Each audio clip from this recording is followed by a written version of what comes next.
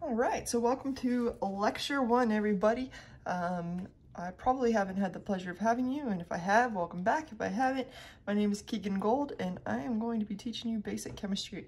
So um, basic chemistry is not base as in um, easy, like basic as in easy, it's base as in foundation. So this is a foundational chemistry that's going to help you grow and help you succeed better in Gen Chem 1. In fact, we've proven it through the years that you'll do much better in Gen Chem 1 if you have a strong foundation through basic chemistry. So uh, our first lecture is actually going to start in chapter two. So this is actually going to be chapter two, part one lecture. I'll, I'll post part two lecture in the next um, week, most likely. So this is going to cover um, about the first half of chapter two. Keep in mind that chapter one, I want you to read on your own and have a general understanding on your own. That's because it's easy to read that stuff, I think, and it comes off better reading. But this is a lot of calculation-based stuff, some conceptual things, so I really want to make sure you have a strong foundation in chapter two before moving on. All right, so without further ado, let's talk about the difference between accuracy and precision. So let's say you're out and you want to shoot Frankenstein. I don't know why you want to fr shoot Frankenstein, but let's see. See if those things in his neck like that. Okay, so here's Frankenstein. I'm obviously not an artist, and why is he smiling? I don't know. Let's make it an evil smile. okay, so you want to shoot Frankenstein. Now, to kill Frankenstein, you actually need to shoot him in the heart, which is right here. Okay, um, so let's say you pull, draw your bow and arrow because you're going to shoot him with a bow and arrow. You're a good archer, way to go. And you draw your arrow back and you release it and it shoots him right here, right where you're going for. That would be accurate. So accuracy is how close you are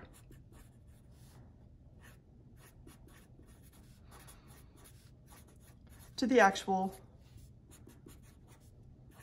value or measurement. So it's how close you are to the actual value or measurement. Uh, now this is actually quite different from precision. So an example of precision might be, let's say you go to shoot him and you miss, you hit over here, then you shoot again, you hit over here, and then you shoot again, you hit right here. Now all of these values are very close to each other, but you're off target, right? You're not shooting exactly where you want to be. That would be precision. Precision is how close your measurements are to each other.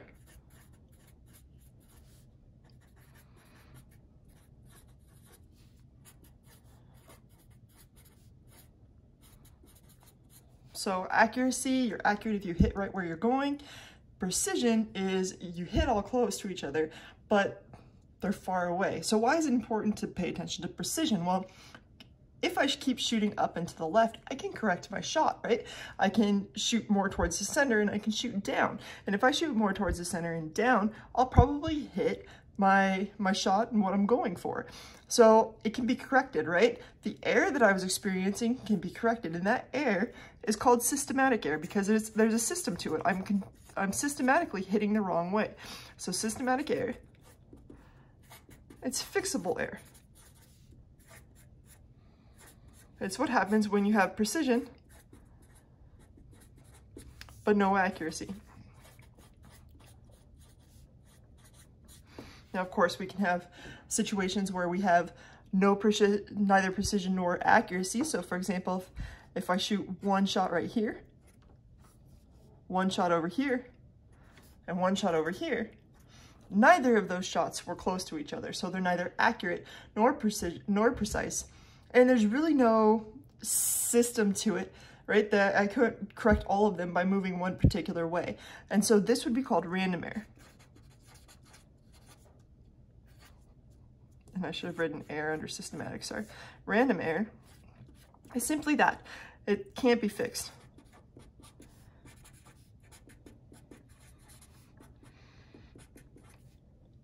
it's random. So a few examples of times that this occurs. So let's say you hop on the scale. So let's say you go to hop on the scale and it says you weigh 170.2 pounds. And you in fact weigh 170.2 pounds. So this would be accurate. Woohoo! Now let's say you hop on the scale and you do it a few times. One time you weigh 165.4. Another time you weigh 165.3.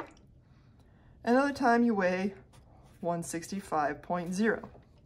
Now, all of these are relatively close to each other. They're all about 165, so that we would call these precise. But are they accurate, keeping in mind you actually weigh 170.2? No, they're not.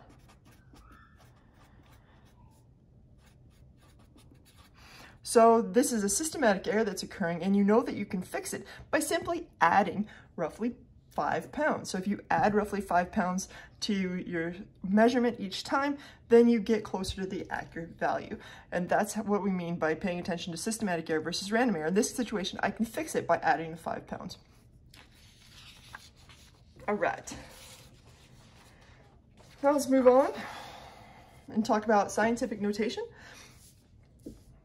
So scientific notation is essentially a way of representing very big numbers. Let me give you uh, a few examples before, before we begin. So there are in a mole, and we'll get to discuss a mole, there are 6.022 times 10 to the 23rd things in a mole.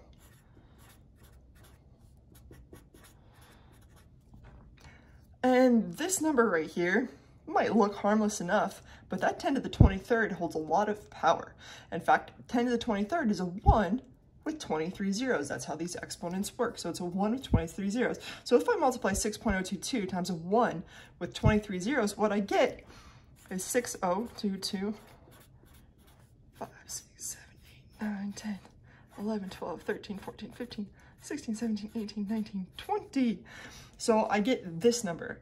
And I don't think you want to write this number every time we use a mole. It is far easier to write this number the more condensed form. Also, when you have numbers like this written in scientific notation, for example, if I had 4.2 times 10 to the 8th, 5.1 times 10 to the 6th, and 7.3 times 10 to the 4, normally we look at numbers and we'd say that 7.3 is bigger. But now that we know that we're multiplying them by times 1 with the respective number of zeros written up here. So this would be 4.2 times 10 to the 8 would be 4.2 times a 1 with 8 zeros versus 5.1 times a 1 with 6 zeros versus 7.3 times a 1 with 4 zeros. You can do these in your calculator or you can just kind of imagine if you have a bank account, one has 1 with 8 zeros, one has 1 with 6 zeros, and one has a 1 with 4 zeros. This one has more money in it. So this one is a larger number and you didn't even need to look at these. You just said, what's bigger, eight, six, or four? This one. That's bigger, that's larger, check. So these are two different ways that we use uh, scientific notation. Okay, so now I have a better idea of how scientific notation works. Let's go ahead and, or why we use it anyways, let's go ahead and do a few examples to make sure that we know how it works. So if I have a number, for example, that's 4,722, 4,722, I should say. And we want to put this in scientific notation. Here are the rules. First, we place a decimal. Even if there is no decimal there, you imagine that there's a decimal there, you put it where it ought to be. Then you're going to move that decimal between the first and second number, not before, not with zeros, and we'll talk about that here in a little bit, but between the first and second non-zero number. So I move this I gotta move it one, two, three times. You count the spaces as you move. One, two, three. So we just moved it um, three times, or in other words, to a power of three. So when we put this in scientific notation, this would be 4.722 times 10 to the third. Now, as chemists, we always want to prove this to ourselves. We're never done with the problem until we say, hey, does that answer actually make sense? So we want to take this number and now ask, does it make sense? Well, we know that this is 4.722 times 10 to the third, but we know 10 to the third is a 1 with three zeros. So our question is, is 4.722 times a 1 with three zeros, in other words, a 1,000, equal to 4,722? And if you enter in your calculator or just look at it, the answer is yes. Yes, it is. Woohoo, good job. So you should always be able to get back the number that you started with and be able to go back and forth between them. Scientific notation is just another way to write a number. It's not, let me repeat that, scientific notation is just another way to write a number. You shouldn't lose any information in scientific notation. All right, let's do another example here. Let's say you have, and this, we're all talking about magnitude greater than one, and we'll talk why, uh, more about that here in a little bit. Let's do another number. 50,624, 50,624, and I want to put this in scientific notation. So again, you imagine a decimal, you move it one, two, three, four times. So this would be 5.0624. Let me do that again, one, two, three, four times, I'll label them. 5.0624 times 10 to the 4. Again, you want to ask yourself, does that answer make sense? Well, if we take 5.0624 and multiply it by a 1 with four zeros, in other words, 10,000, we will in fact get 50,624. Woohoo! Good job. So we should get our answer back. Now, if we move to numbers that have um, magnitudes between 0 and 1, and let me explain why we use magnitudes actually. If this had been negative 50,624, my answer would have been negative 5.0624. So I want, I'm talking about when the magnitude is greater than 1 for the number that you're going to turn into scientific notation, you just want to make sure um, that you're using this format. Numbers with magnitude between 0 and 1, in other words, decimal points. So if we have something that's like 0 0.0264 and we want to put that in scientific notation, you follow the same process. You want to take this decimal and you want to move it between the first and the second non-zero number. One, two. So I move it two times. In other words, this is 2.64. But if I put 2.64 times 10 to the 2, I would get 264, right? Because a 10 to the 2 is a 1 with two zeros. So 2.64 times 100 would be 264. That's not what I want to do. I moved it this way so now I want this to be a negative 2, 10 to the negative 2. By the way, that equals 1 divided by 10 to the 2. In other words, 1 over 100. Another way to look at this is you're just saying 2.64, and I'll, I'll break it down a little better, times 1 over 10 to the 2, because that's what 10 to the negative 2 means, which would be 2.64 divided by 10 to the 2, which would be 2.64 divided by 100. Is 2.64 divided by 100 0.0264? It sure is. So this is a lot of work just to kind of go back and show you how it works. But you should always be asking yourself, if you're using a negative exponent, the number that you're representing must be smaller than this. In other words, we must be representing a decimal.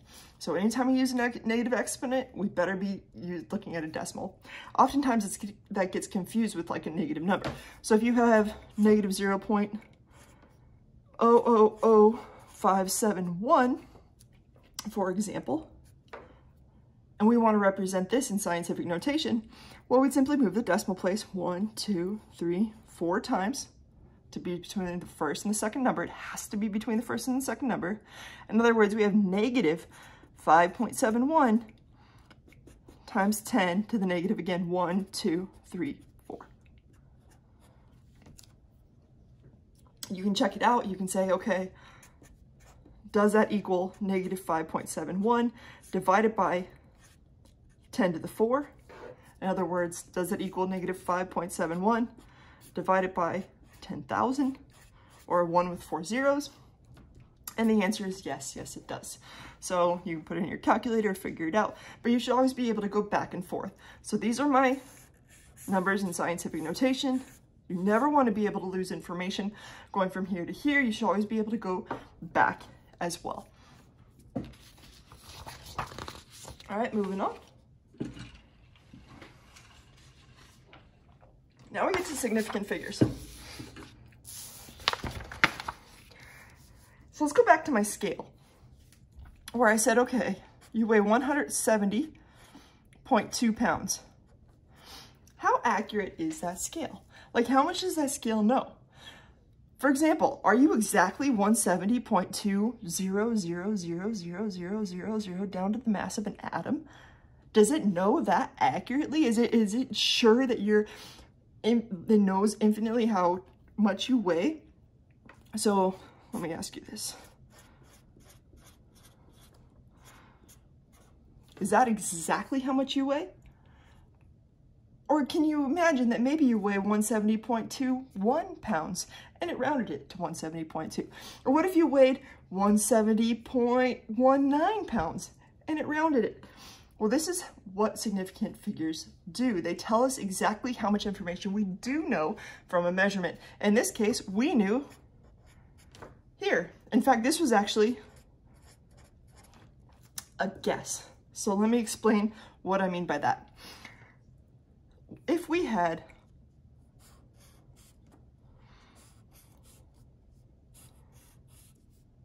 let's say three beakers for now, and one is labeled between zero and 10 liters, and I filled it right there. How much would you say is in there? You probably are naturally guessing it's about three. You might have said four, some of you might have said two, but most of you probably said it was about three liters. All right, so that's good. What if I keep that same measurement, zero, 10, this time I go one, two, three. Now you're looking at it, you're like, hey, it's three, but maybe it's a, it's a little more than three. So maybe now you're guessing it's actually like 3.1. Did you notice that by adding these numbers, one, two, three, four, five, six, seven, eight, etc., by adding these numbers, suddenly you're guessing an additional amount. Now, if I continue on with that pattern, so it's going to get a little bit busy here. Actually, let's make it a little better over here. Let's say we have the exact same beaker. And we go zero, one, two, three, four. And then I put graduation markers between there. One, two, three, four, five, six, seven, eight, nine. It's hard to see, but this is somewhere between 3.1 and 3.2. You might say that this is actually 3.15 or 3.14 or something to that effect. Now, every time I add additional information, you're guessing one extra decimal place, right? And that's why I said this last number was actually a guess. The last number of a measurement is actually your best guess. And so the real range here, when I said some of you guessed two and some of you might be guessing four, the real range is between plus or minus one of your guess. So my guess here was three. If I take three and I subtract one, I get two. If I take three and I add one, I get four. My real range is actually between two and four. You don't know that it's three, you just know it's somewhere between two and four. Let's look at this one. I got 3.1. Now, I don't know that it's exactly 3.1, but I know it was somewhere between 3.0 to 3.2. In other words, I took this last number, I added one of that place, and I subtracted one of that place, and that gave me my range. Let's go over here. 3.15. This is my last number. This is my guess. Add 1 to 5, subtract 1 from 5.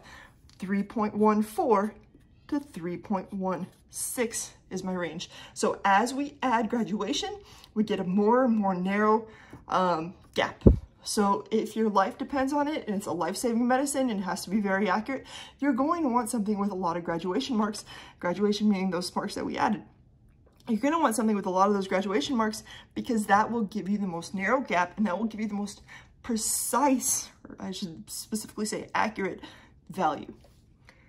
All right, so now that we kind of have an idea, let's go back to the scale. How much did your scale really know about you? Well, remember, none of this was presented. We were only told it was 170.2. That's telling us it's actually a range. We take that two, it's our last number, we add one and subtract one. So we're talking about somewhere between one and three. In other words, our range was 170.1 to 170.3. So this was actually our weight. All right, now we're looking at the rules for significant figures. So it helps to understand um, how the rules work and what significant figures, how many significant figures something has, because that will give us a better idea of how to guess. So first, all non-zero numbers are significant. So 4,725. This would have four sig figs. Um, 56,724. That would have one, two, three, four, five sig figs. This had four because it had four non-zero numbers. This had five because it had five non-zero numbers. All zeros between numbers are significant. So an example would be, let's say 402.5. You look at that zero and you say, hey, is it between those two numbers? It sure is. It's significant. This has four sig figs. Do another example. Let's say you have 500.07. All of these zeros are between two numbers, two non-zero numbers, and therefore we know that they're significant. So we got one, two, three, four, five. This would have five significant figures. Zeros before numbers are not significant. They're like placeholders. So for example, uh, 0.00745. The real meat and potatoes of this number are the 7, 4, and the 5. The zeros are placeholders. They, they're important, but they are not significant figures. And so this only has three significant figures, the 7, the 4, and the 5. Let me show you why that's important for scientific notation. If I were to take this number and put it in scientific notation, we would only write 7.45 times 10 to the negative third. And so understanding that these zeros, though, although they're important, you don't end up writing them in scientific notation, and that's a really quick way to determine whether or not they're significant. All right, let's see. You might, I don't, I can't imagine that you do, but if you put zero, zero, zero, zero, zero into your calculator a whole bunch, and then put the number like 425, even though you put a ton of zeros, you really only end up with three numbers that are significant. All right, zeros with or zeros after numbers with a decimal point. Somewhere in that number are significant. Let me give you a few examples. Let's see. Let's say 425.0. Here we have a zero.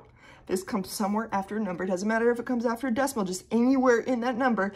If it comes after a non-zero number, is there a decimal somewhere in that number? Yes. So this has four sig figs. Let me repeat that again because that was horribly worded. Does a zero come after a number? Yeah, it came after the four, the two, and the five. Is there a decimal in that number? Yes, there is. And therefore, it would have four sig figs. Now let's look at another number. Um, 52.400. 52.400, this has one, two, three, four, five significant figures because each of these zeros come after a number and there is a decimal in there. What about 100.0? 100.0, these zeros all come after the number one and there's a decimal somewhere in that number, therefore they are significant. This has four. Let me give you a counter example, the number 100. Do these zeros come after a number? Yeah. Is there a decimal in that number? No. These are therefore not significant. And this only has one sig fig. Let me break that down in terms of ranges that we discussed up here. If I had, for example, the number 4,000, this only has one significant figure because there's no decimal in there. This is, in other words, is a range between 3,000 and 5,000 because this is the only number that we know. So we add one, we subtract one, and we take the range between those values. So understanding this stuff is very important as opposed to the following. What if we did 4,000 and added a decimal? Suddenly, now we've added a decimal, we have one, two, three, four significant figures because these zeros all come after a number and there's a decimal in that number. So this is four sig figs. The range, therefore, would be between the last, would be looking at the last number. The last number is in the ones place. We add one, we subtract one from 4,000. In other words, we have an answer of 3,999 to 4,001. There's a huge difference between 4,000 and 4,000 decimal point. Okay, one more thing just to really drive this point home. Sorry, the only paper I could find is my kids' drawings. Look, they drew a U and an H. Pretty good. And a V. Wow, what they spell? I have no idea. But they're really cute. Okay, so so we said, okay, we've got 4,000. And we said uh, that has one sig fig. Let's go ahead and put that in scientific notation. And we'll also talk about its range.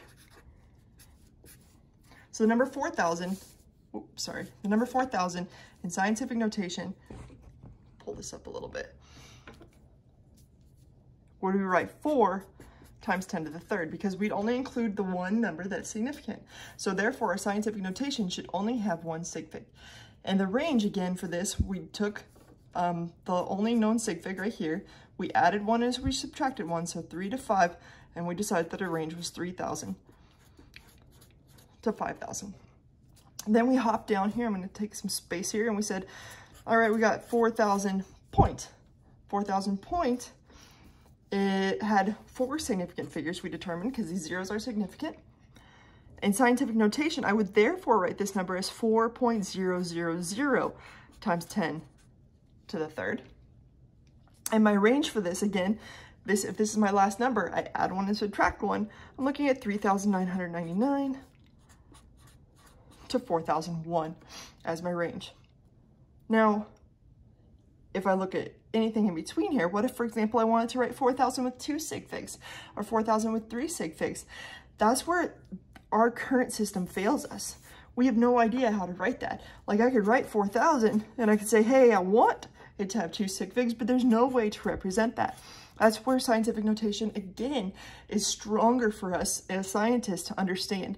So for example, if I wanted to write 4,000 with two sig figs, I'd write it as 4.0 times 10 to the third. What does that tell us? Well, that tells us we know up to this place, the hundredths place.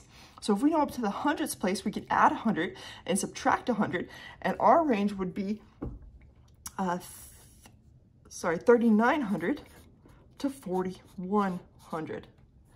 Subtracting 100 and adding 100. What if we want to represent it with three sig figs? Then we're looking at the tens place here. If we add 10 and subtract 10, we get a range of 3,990 to 4,010, and we would write that as 4.00 times 10 to the third. So scientific notation is really important because it narrows our range. It helps us to get a better idea. So the more zeros you have in scientific notation, the more narrow the range is, the better we know that measurement, um, the more information we know about that measurement. Alrighty, so let's move on to some examples. How many sig figs are in the following? We're to go through this relatively quickly.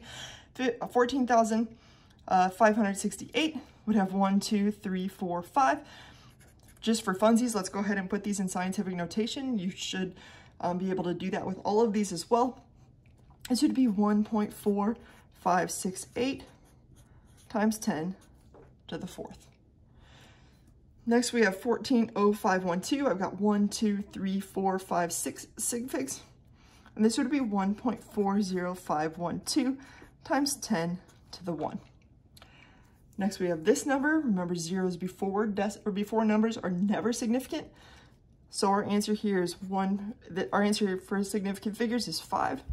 In scientific notation, it's 1.4512 times 10 to the negative third. On this one, it has one, two, three, four. Remember, these numbers come after a number and there's a decimal. Five, six, seven. So this has seven significant figures. And I'd put it in scientific notation as 1.452000 times 10 to the negative 2. Next, this one has one, two, three, four. You want to say this one is, but it isn't because it doesn't have a decimal. This has only four sig figs, so in scientific notation, it better only have four numbers written.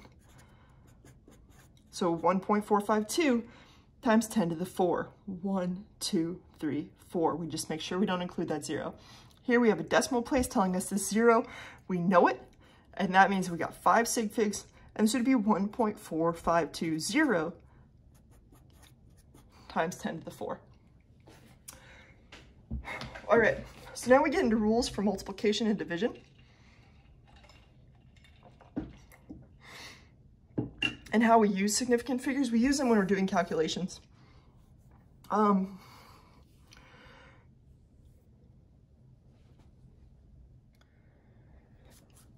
and so in these rules, let's say you go out to your yard and you find a random rock and obviously your first question about this random rock is, what's its density, right? Because that's what everybody wants to know.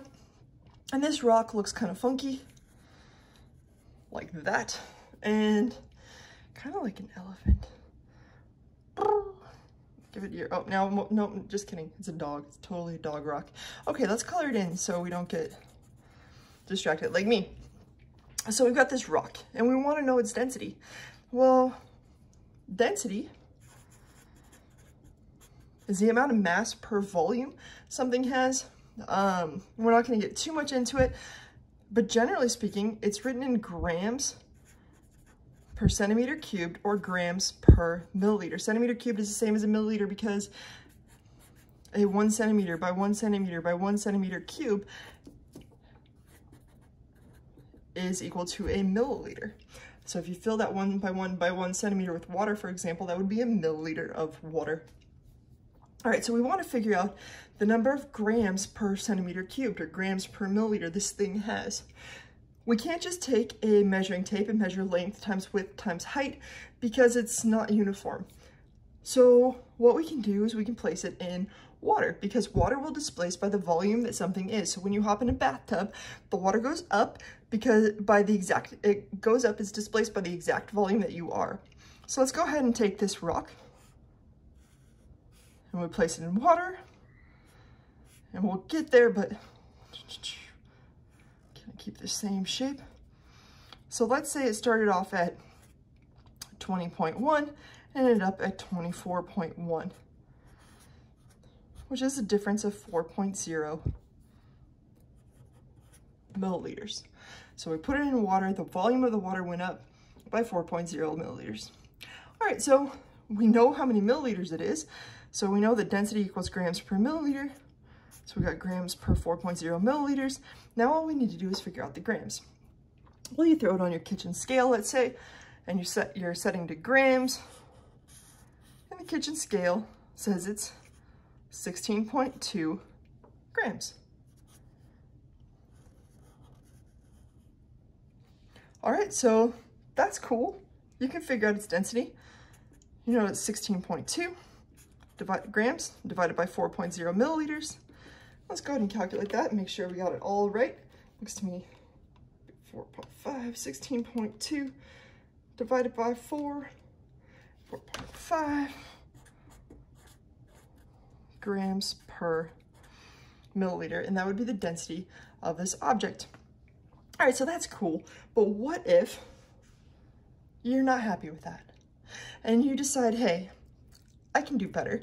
So you send it off for some really, really awesome calculations. You send it to NASA and you're like, hey, y'all, can you please measure the mass of this rock? So they put it on their scale and they're like, yeah, no problem. The mass of this rock is 16.201654 grams. And you're like, mind blown. Okay, we can do this we can calculate the NASA density. The NASA density would be um, 16.201654 grams divided by 4.0 liters. And that would be, let's go ahead and do it, 16.201654 divided by 4.0 and I get 4.05 04135 grams per milliliter. Whoa. All right, so which one do you trust more? This one or this one? I'm gonna go ahead and erase this so I can use all this space here. Well, the answer lies in significant figures, and that's pretty much why we've learned them. So we can tell how accurate something is or, or exactly how much information we know about a particular measurement, even when we calculate with numbers. So here are the rules with multiplication and division. Your answer, your answer should have the same sig figs or significant figures as the measurement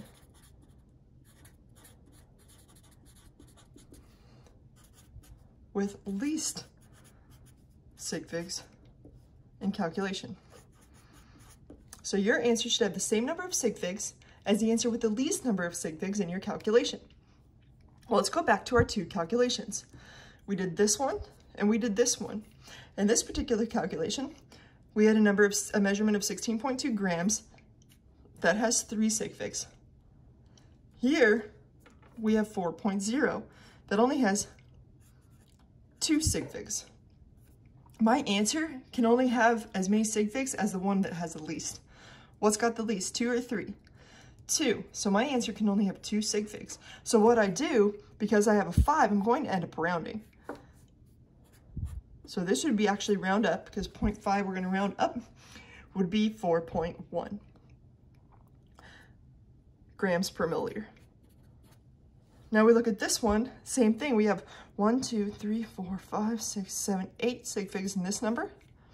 This number only has two. And sorry, I wrote liters instead of milliliters. I'm sorry. How annoying. Here we have eight. Here we have two. So therefore, two is our least. Our answer can only have two. What I do is I underline the first two and I ask if the number next to it is five or greater. If it's five or greater, I round up. In this case, it's five or greater. I'm gonna round up 4.1 grams per milliliter. Did it matter? Did it matter if we sent it to NASA or not? No, because our value can only have the same number of sig figs as your one with the least amount of sig figs in the calculation. So no matter which way you did it, the answer ended up being 4.1 grams per milliliter. Let's look at addition and subtraction. In fact, probably need a little more paper for this. So in addition and subtraction, it's a little bit different. In addition and subtraction, we look at precision.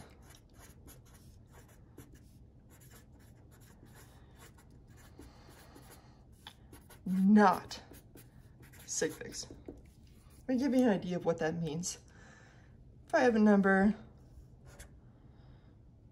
40, let's say I make it 400.000.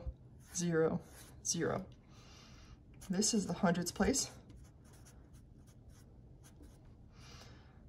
This is the tens.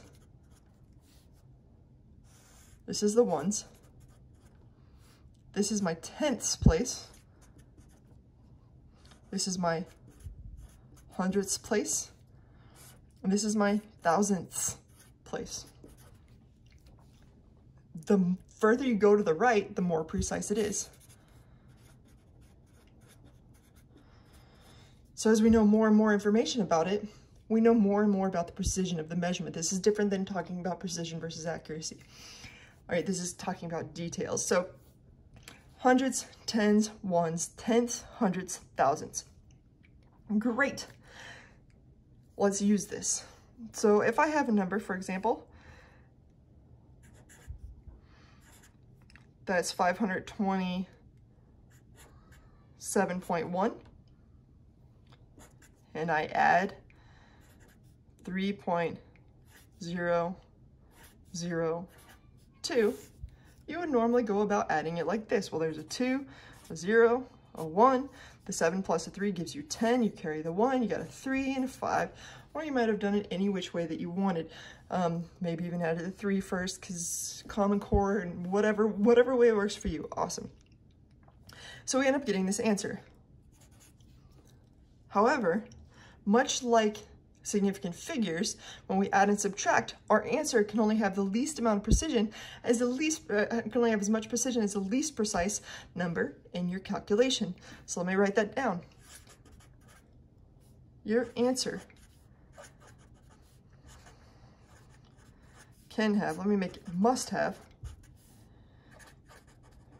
same precision as least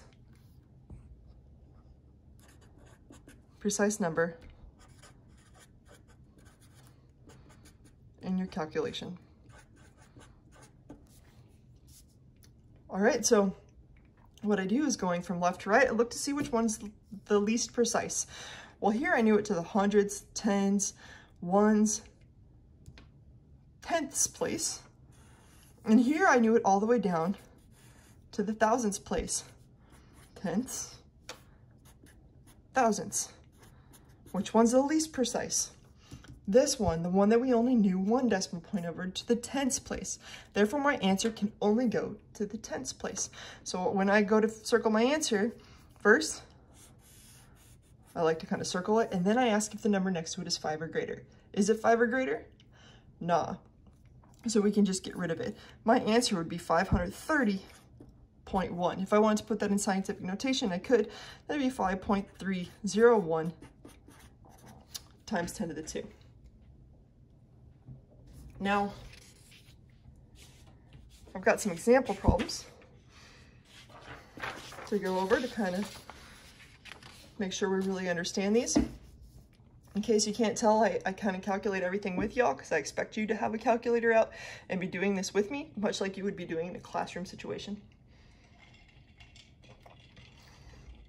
Okay, so I make a note here because this is something that I'll be doing. I'll be following through with it. When I multiply and divide, as soon as I get my answer, I put it in scientific notation and then I figure out the sig figs. When I add and subtract, I actually get the answer already, figure out the precision, and then put it in scientific notation. So you'll see some examples of that. All right, let's start with question number one. I have 42.36 times 1.2. Well, here I multiplied and divided, so I'm looking at sig figs. When I do that, I get an answer of 50.832, which I would want to put first, first into scientific notation. 5.0832 times 10 to the 1. Now I can look at the number of significant figures it should have. This one has 4, this one has 3, What's smaller? 3. My answer can only have 3. I underline up to the third place. One, two, three. I ask if the number next to this is a 5 or greater. It is not, so I can essentially truncate it, and my answer is 5.08 times 10 to the 1. All right, let's go ahead and look at the adding and subtracting. What I'd like to do is actually line up the decimal places. It makes it easier for me. Here we're subtracting though. So when we add and subtract, what do we look at? Precision or sig figs? Here we gotta look at precision. In other words, which one do we know the least about? Well, we know this first one to the hundredths place and this one to the tenths place, telling us our answer can only go to the tenths place. First, let's figure our answer out. Um, 1.37 minus 1.2 or give me, or excuse me, 1.57 minus 1.2 would give me 0.37.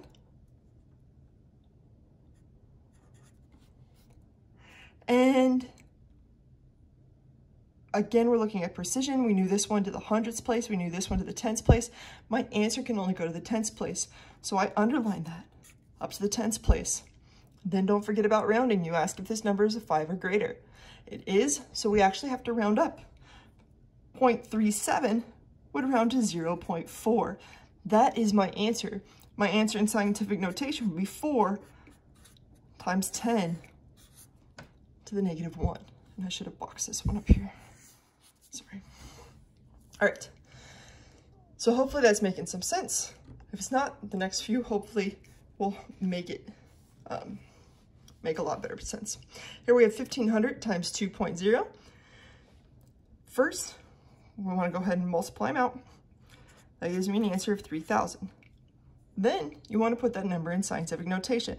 That would be 3.000 times 10 to the third. That is not my answer though. Once it's in scientific notation, then I figure out sig figs. This one has two. This one also has two. That was poorly done. So my number can only have two. My answer is 3.0 times 10 to the third. this is why it's important to put it in scientific notation first. If you didn't, you would have been kind of confused because you'd been like, I don't know how to write 3,000 with two sig figs. Or maybe you did because you were paying attention to the problem with the 4,000 that we did. All right, this is everybody's favorite one because it seems to be very frustrating, but it's a really important concept. If you have $1,500 in your bank account and you take $2 out, how much, do, how much do you have?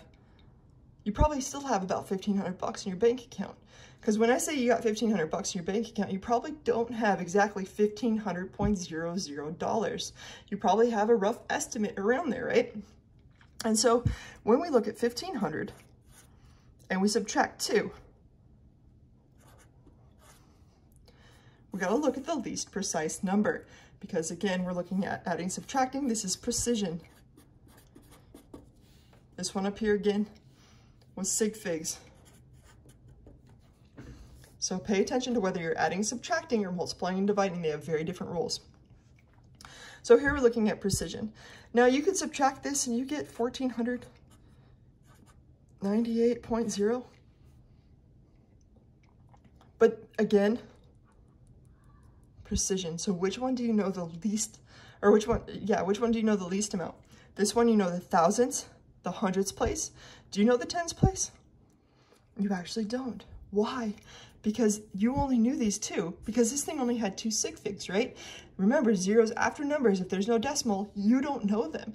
So this could have been 1525, it could have been 1490, you don't know. So if you got 1525 and you subtract two, or 1490 and you subtract two, those are very different answers that you'll get. So in not knowing those two, we have to take that into account. So we only knew up to the hundreds place, telling us our answer, we only know up to the hundreds place. Here we knew to the tenths place, so this was by far more precise than this one. So we only knew this and this. If we have 14 and then a 9 to 8, what does that round up to? That should round up to 15. And that's why our answer ends up being 1500.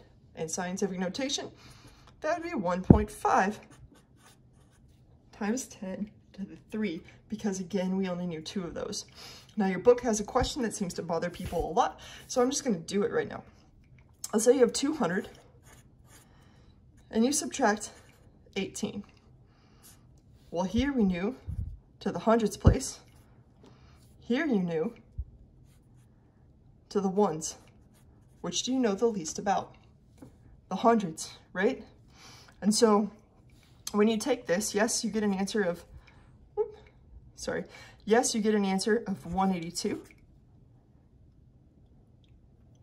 However, you only know to the hundreds place. So you look at the hundreds place, you look at this number as a five or greater, it is, so you gotta round it up. This ends up giving you 200. Now, if I were to take and do this with 100 and subtract 18, I get an answer of 82. But again, you only know to the hundreds place. This is the tens, this is the twos. What, if we don't know this one, but we got an eight, what does 0.8 round to? It would round to a one. So that's why this ends up being 100. So make sure you really understand this. If you don't, go back through and watch this again. Sorry, this should be a subtraction. If you don't, go back through and watch the whole thing again. I guarantee you a question like this is going to show up on an exam.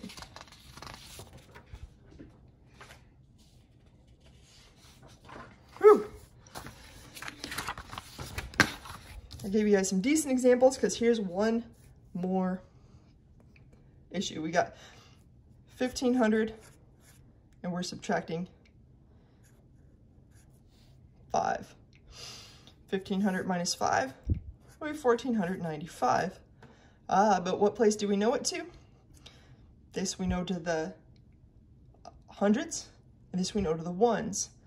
We know the least about the one that's on the furthest to the left, the hundreds. Therefore, our answer should round to the hundreds. You underline that, ask if the number next to it is 5 or greater. It is, so we round up. Our answer would be 15. Fill in the rest with zeros to make sure you get the same amount of places. 1500, which would be 1.5 times 10 to the third. Okay, everybody's favorite part. Let's go ahead and blend it all together. I highly suggest if you've followed through this lecture the whole time, then now you take a break and you let it settle in and you relax and you come back this to this another day. All right, so here we have a situation where we have several different steps. Well, we want to follow PEMDAS, um, pretty much the T, and keep track of sig figs or precision along the way. So the first thing we would do in this calculation, if we were putting in our calculator, would be the multiplication anyway. So let's make sure we do the multiplication. Sorry. So we got 47.20 47.2 times 18.0. This right here gives me an answer of 849.6. 849.6. Now, I want to keep track every time I do a calculation, ask yourself how many sig figs or what the precision should be, and make sure you keep track of that. Here, I had four sig figs. Here I had three. This answer should have three, telling me I know the eight, the four, and the nine. I don't know the 0.6, but you use it anyways. Don't know it.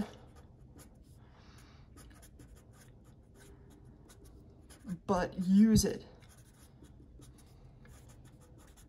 It's our best guess, and it does actually come into play. Um, if you get rid of it, you're going to underestimate the value of this number. Okay, to this, we're going to add 1.4673. So this gives me an answer of 851.0673. All right, so that's cool. What do we know? Well, remember that now we added. So now we're looking at precision. Before we use sig figs to figure out this one, now we're adding. So when we go to add it, we say which is the least precise number. Well, this one we only know to the ones place because that's what our sig figs up here told us. So this we only know to the ones place. This one we know all the way to the 10 thousandths place or whatever. And so in answering this, we can only accurately say we know the number to the ones place there. It has nothing to do with sig figs, has to do with precision. There's no one-stop shop. You couldn't have looked at this number and known the answer. You have to take your time and go through each one and figure out the answer. And here I get an answer of 851. In other words, 8.51 times 10 to the 2. All right, let's go ahead and just move the parentheses over to completely change the calculation. Here we have 18.0 plus 1.4673. That's the one we'd want to do first. So if we do that, we get an answer of 18, or excuse me, ah, 19, I can do it, 0.4673 but we add it so we look at what? Precision. So we have to calculate precision into this. This we knew to the tenths place, This one we knew way further. So this is the one that we're going to look at. We know to the tens place. And therefore, when I do my underline, I'm underlining to the tens place. Now we take that number and multiply it by 47.20. The whole number, not just part of it, the entire number. If you get really good at this, you'll figure out you can use two past the number, but that's. And I get an answer of 40,1703.77, I think. One, two, four. No, I'm just kidding. The three goes right there. I've got a weird setting on my calculator right now. So I get an answer of 40,170.377. Let me rewrite that again.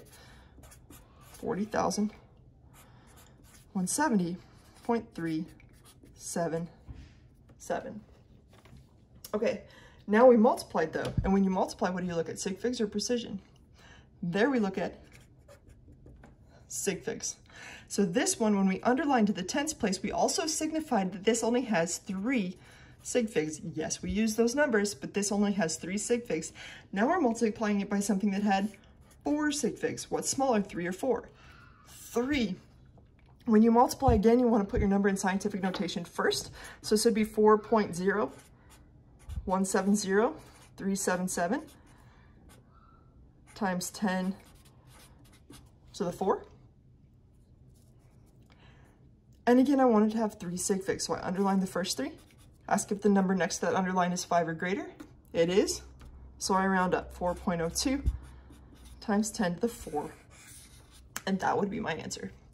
If you want some additional help, I'll post some additional videos that specifically go over just multiplication and division, just addition and subtraction, and just putting them together in different ways. Um, but yeah, that's the end of the lecture for now. And y'all should have another one coming up next week. Take care.